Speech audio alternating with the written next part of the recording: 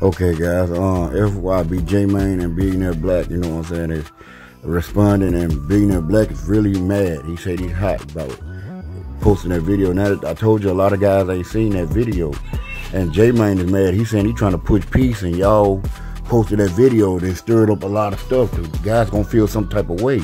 Them guys grew up with Big uh, Clout, man. They was his best friend. To see their boy get gunned down like that, they knew he got gunned down, but they didn't see the video. So it's gonna be disturbing. They ain't gonna feel some type of, type of way to be sitting next to the people that were laughing at Duck. You know what I'm saying? Cause uh, YBJ man is sitting around people that's laughing at about the situation and doing interviews with these people, and, and then now he got to feel like this. You know, um, that's gonna make these guys don't want to sit down. They ain't gonna push peace um, because of stuff like this. Um, that video is very disturbing to see Duck get done like that. Uh, it was almost like the can't get right situation. But uh, it's crazy, man. Um, guess they didn't kill no innocent people because they could have shot that girl. That girl was right here moving around and with the door open and all that. They could have killed her.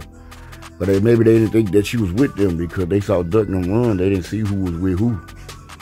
But y'all get in the comment, let me know what y'all think about that, man. It's gonna piss off a lot of people. And I kind of see why Mama Duck was mad.